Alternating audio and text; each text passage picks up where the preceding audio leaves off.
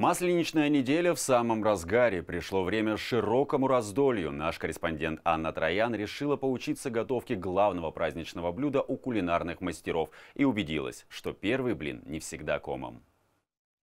Не знаете, как приготовить вкусные блины? Вот вам наглядное пособие. Вместе с вами подсмотрим секреты тонких блинчиков с дырочками у шеф-повара ресторанов торгового центра «Орбита».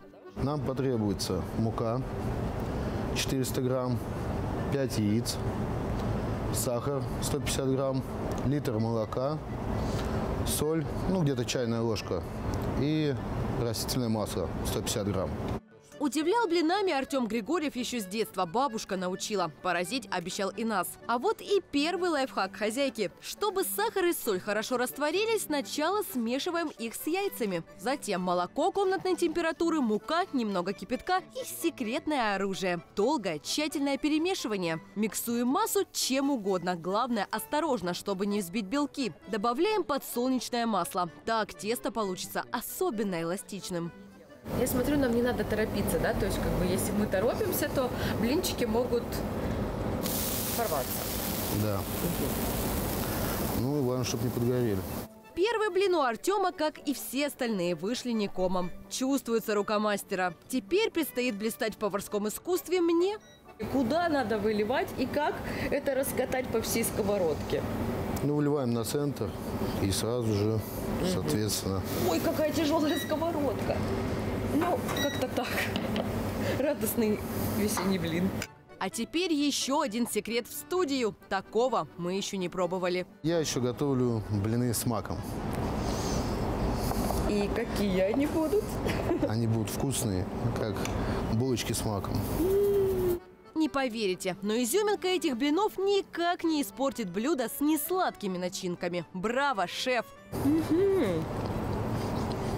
На широкую масленицу блины пекут все. А как насчет домашней стрепни? Завсегдатый масленичных торжеств Александр Мурашкин на блинах собаку съел. Точнее, это его коронное блюдо. Сегодня он передаст свой опыт не только вам, но и подрастающему поколению. Ярик, я тебя сейчас научу готовить блины. Ты видел, да, в инстаграме я готовил блины? Да. А теперь мы с тобой их вместе приготовим. Вот смотри, я начал с воды. Видишь, воды чуть-чуть сюда добавил. Молоко. Я молоко специально подогревал. Лучше такое молоко использовать подогретое. Мы сейчас с тобой сюда наливаем молоко. О, о.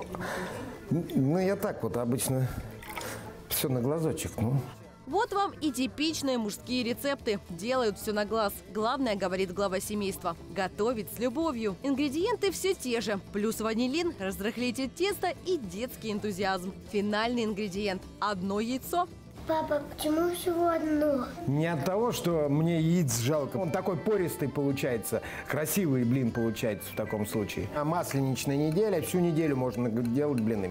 Вот, тогда буду каждый день. Эх, папа, ну посмотрим, что выйдет из вашей самодеятельности.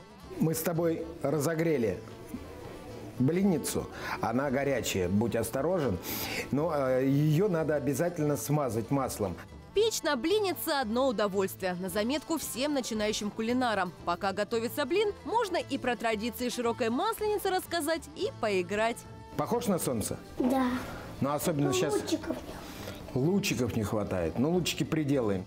И украсим, и каждый блинчик сливочным маслом смажем. И так один за одним такая игра и Ярику, и папе понравилась. У нас с тобой как-то по-мужски получилось. Ну, не каждый еще, наверное, мужчина сможет это делать, а мы теперь с тобой умеем. Ну что, пора за стол, угощать семью. Приятного аппетита! Анна Троян, Сергей Гвоздев, телеканал ЛРТ. Всем привет, я Луиза, а вы смотрите телеканал ЛРТ. Подписывайтесь на наш канал на YouTube, ставьте лайки, и вы будете в курсе самых интересных событий.